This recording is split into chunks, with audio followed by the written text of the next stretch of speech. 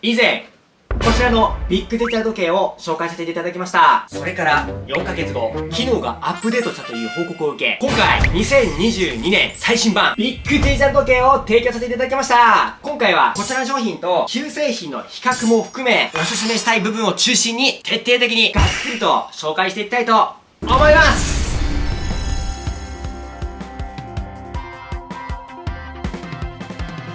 本番いきますよーい。カメラ OK 音 OK リアクション OK よスターどうも皆さんこんにちは。監督ラボの監督です。今まで数多くのお仕事をいただいております。ありがとうございます。さすがにこれくらいあると今はもう使用していないものがあったりなかったり。今回紹介するのは以前提供していただきましたこちらビッグデジタル時計。今現在めちゃくちゃ大活躍しておりますそしてこちらの新機種を今回ご提供させていただきました。この機種なんですけども、実際に4ヶ月使ってみて、大助かりなポイントが2つあります。1つ目、大画面。とにかく文字盤がでかくて助かる。本当にこれにつきます。そして2つ目、ストップウォッチ機能、カウントダウン、カウントアップ機能。こちらの動画で使わせていただきました。はい、10分動画。10分動画でございます。リアルタイム10分動画。編集はしません。というわけでですね、えー、ライバー生活1ヶ月経ちました。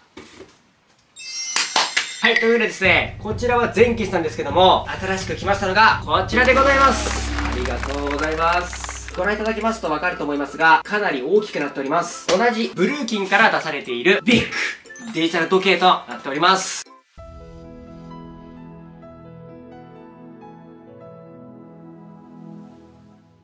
では、早速開けていきたいと思います。本体でございます。今回はブラックということで、こちらが本体でございます。漆黒のブラック。傷ついてるなーと思ったら、えー、フィルターが貼っておりました。いきます。おお見てください。このテカリ具合。2022年版最新版に関しては、カラーがですね、ホワイト、ブルー、アイスブルーがございます。前回のものとサイズを比べてみましょう。重さは、新しい機種が1.2、前作が 800g となっておりまして、少し重たくなっております。左側に合わせております。はい。このような形となっております。白い方が36センチ、黒がですね、42センチとなっております。幅につきましては、一緒です。短くなっていると表記されております。全く一緒ですね。こちらはですね、前作と同じように、壁掛けをすることもできますし、こちらですね、ステントというものがついておりますので、でかけることができます。このような形になっております。見ていきたいと思います。取り付け穴が壁掛けにするときに使うシートですね。取扱説明書。フルカラー版となっております。続きまして、前作にはありませんでした。AC アダプター。続いて、壁掛け用のパーツが2つついております。そして嬉しい嬉しい。なんと今回リモコンが新しく付属しております。ありがとうございます。かっこいいな。このなんだろう高級感のある旗触り。電池も入っておりますのですぐ使うことができます。え本体を先に見ていきたいと思います。この横の部分に関してはですね前作と多分一緒だと思いますね。スヌーズ設定ほぼ一緒ですね。でこの床置きえ地べた置きにつきましてはこのステントを開けるとここにですねリセットボタンがありますのでもし何かその時刻表示とかでおかしいなと思ったらここを爪楊枝とかで刺すことによってリセットすることができます。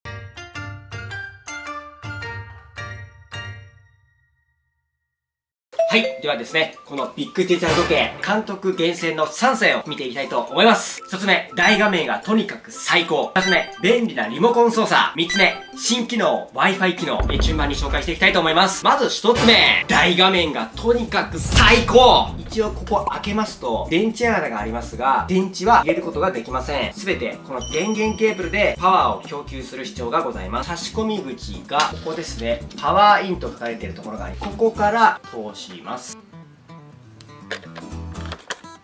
前回と大きな違いとしては常に電源コンセントを使用するという部分ですね。はいつけました。おお！じゃんじゃじゃん。え明る。い前作と比べてどうですか？背景が黒っていうところはあるんですけども見てください。いいじゃんいいじゃん。えー、すげえ。なんか超近未来的な合成みたいな感じじゃないですかこれ。えびっくりびっくり。というわけでこちら。対比度が高くはっきりと見える極太数字えー、見てください。めちゃくちゃ結構クリアじゃないですか。で離れましてもはいここまで遠くでもはっきり見えますよね。どのような角度からも見れるというわけで正面からでこういく。はい見えますね見えますね見えますね。これは僕どの方向から見てもはいはい。おおどの方角から見ても全然見えますね。いいです。というわけで、二つ目、便利なリモコン操作。取説ですとかホームページにはですね、詳細な使い方が書かれてませんので、どんな感じになるのか、えー、まずこの、こえ電源オンオフ押します。おおはい。おお結構スピード速いぞ。はい。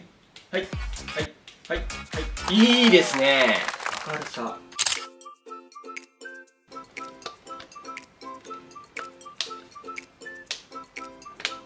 こちらですねプラスとマイナスなんですけどもこれが最大。そしてこれが一番暗い。えー、とタイマー。おお前作ですね。あまり動画では触れていなかったんですけどもこれを押してからこれを押すみたいな感じでこの画面を見ながらこうやって実はあれ苦戦してたんですけどもリモコン操作めっちゃいいね。5秒タイマーにしましょうか。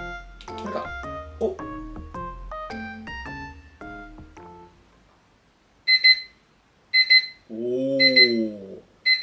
でここにボリュームがありますので。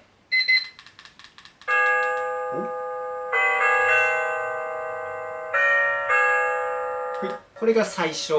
でこれが最大。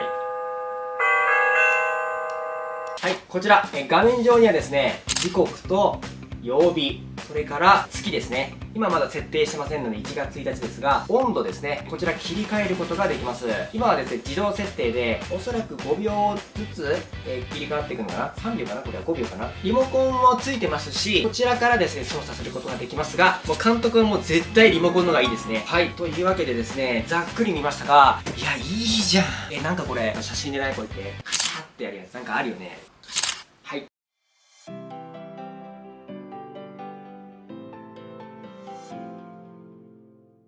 続きまして、3つ目新搭載 Wi-Fi 機能。電源のケーブルが付いているということで、Wi-Fi 機能を設定することができます。Amazon のサイトを見ると、結構手こずってる方がおられましたので、この動画でしっかりとですね、実際に監督もやってみまして、で、Wi-Fi につきましては、インターネット環境と、この本体と、あとスマートフォンの設定が必要となります。設定する際なんですけども、電源ケーブルを抜いた状態で、このスヌーズボタンがあるので、スヌーズボタンを押しながら、電源ケーブルを挿します。押します。電源を差し込みます。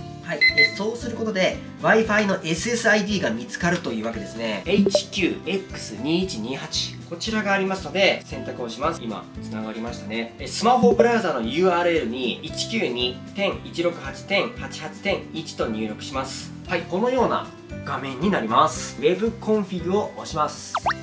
はい押しました。パスワードを入れるという画面ですね。パスワードを入れていく前にこのタイムゾーンがですねこれですね説明書を見ますとマイナス9が正しいと書いているのですが Amazon コメント欄を見ますとマイナス9ではなく正しくはプラス9ということですので間違いがなくプラス9にします。プラス9が正しいというコメントがありましたのでそして監督自身のこのパスワードを入れます。これはご自身の Wi-Fi のパスワードを入れてください。来ましたね。皆さん来ましたよ。こちらおなじみスマートフォンでもこれありますよね。繋がっております。というわけで、え髪掛け時計の右上にシグナルランプが表示され、信号の強さが変化します。今現在12時9分、12時9分ですね。設定何もしないのに、この Wi-Fi 接続をすることによって、え繋げることができました。正直もう少し手こずるかなと思ったんですけども、意外とできました。よかった。というわけで、もうずれることはありません。自動受信します。一回これ設定しちゃえば、あとはもう大丈夫です。電源をつけますと、自動的に受信して、今の正しい時刻を表示させてくれます。電波時計と同様です。この Wi-Fi を用いることによって自動補正される時計となりました。この本体の中に Wi-Fi を使用してインターネットに接続する技術が搭載されております。ちなみにこの電源コンセントなんですけども長さが 2m ございます。ちなみになんですけども Wi-Fi 機能を使わなくても自分でリモコンかあとはこちらでですね時刻設定ができますので Wi-Fi 機能は必須というわけではございません。今後ですねこちら使わせていただきたいと思います。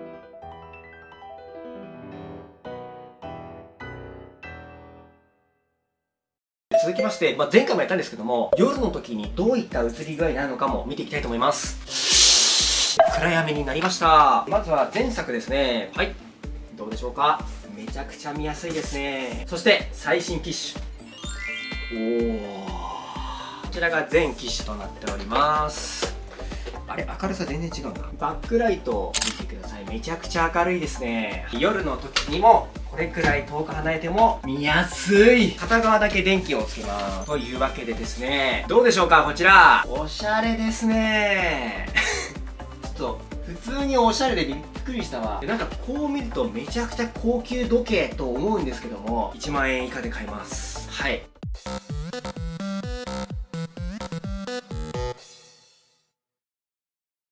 で3つの特徴、ポイントを紹介させていただきました。他にはですね、壁掛け機能というわけで、こういったものも付いております。実際に監督はですね、これ賃貸なんで壁掛けにはしませんが、ちょっとどういった付属品が付いているのかだけ見てみたいと思います。パーツが2つありまして、こういったものですね。ここですね、この2つありますので、壁にガーってつけて、これをカチャってつける。こういった星型のね、やつも付いていますので、ここの、えー、これですね、横サイドに関してはこれで測りつつ、これを乗せることによって、壁掛けにすることができます。今回に関してはコードがありますので場合によってはちょっと景観を損なうのかなというデメリットはありますけどもうまい具合にね隠してこういったおしゃれ時計めちゃくちゃ便利でありがたいと思います。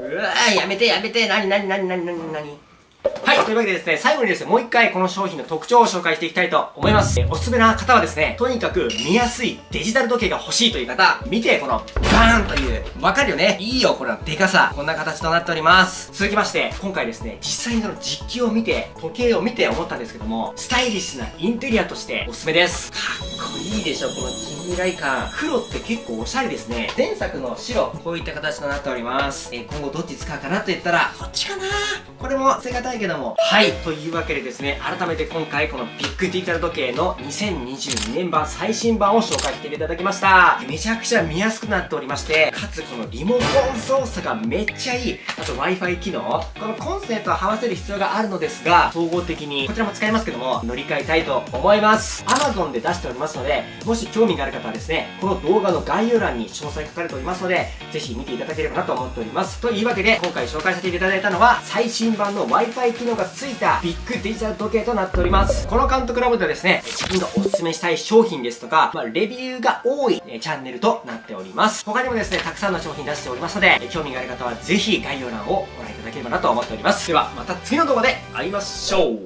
さてどこに飾ろうかな？大きい。お明るい。ちょっと待ってちょっと待って。いいじゃん。めっちゃいいじゃん。ではい。最新版のビッグデータ